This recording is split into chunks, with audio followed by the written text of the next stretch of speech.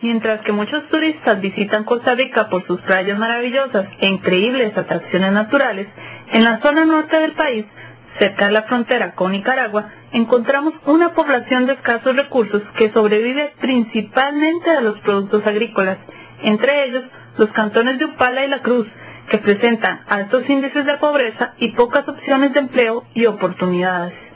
Aunque Upala es conocida por su producción de frijoles, muchos de sus pequeños agricultores no ven los frutos de su trabajo reflejados en beneficios para sus familias, ya que el dinero de la venta de su producción quedaba, en su mayoría, en las manos de los intermediarios. Hace cuatro años, aunque no sabían cómo hacerlo, un grupo de agricultores locales quisieron unirse y buscar un mejor horizonte.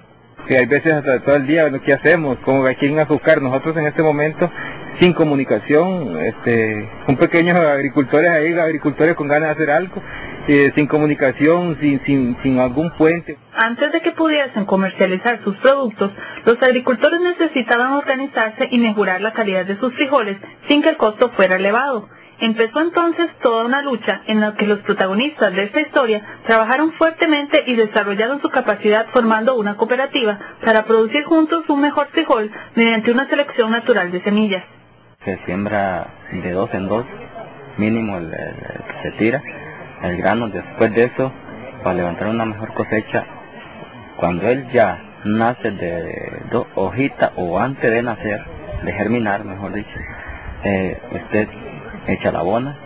Los agricultores no estaban solos en este proceso. A través de Visión Mundial, ellos establecieron contacto con especialistas y agrónomos de diferentes universidades e instituciones.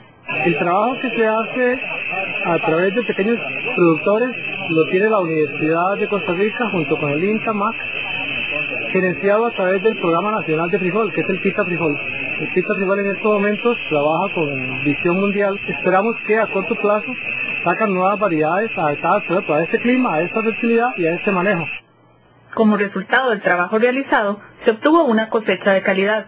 Gracias a esto, se ha logrado vender la cosecha a un mejor precio. Esta batalla, sin embargo, no fue nada fácil. La comercialización de hace, del inicio de, la, cooperativa ha sido bien compleja, porque eh, el intermediario, como como lo dije anteriormente en la exposición, el intermediario ha sido el que ha manejado la comercialización. Esto ha sido muy duro. El año pasado nos tuvimos que comer las uñas por casi dos meses porque el industrial no nos daba, no nos daba el precio final. Este, teníamos un precio de 13.500 y el, el intermediario andaba pagando 13.500 aquí.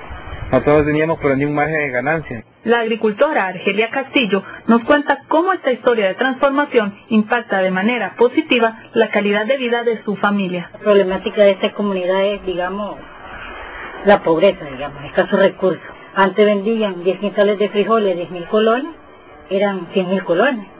Ahora si venden 10 quintales a 15 mil, son 150 mil. Se están llevando 50 mil eso ya queda para la alimentación. O, tal vez para vestirse, porque a veces no alcanza ni para vestir. La comunidad está consciente de que desarrollan un proceso que depende de los esfuerzos de todos. Eso ha sido un apoyo y, y también la comunidad ha aportado también, porque no se puede dejar todo que solo Vicemuna nos ayude, sino que Vicemuna nos da un empujón y nosotros continuar adelante, porque lo que se quiere es una mejor calidad de vida para todos los niños.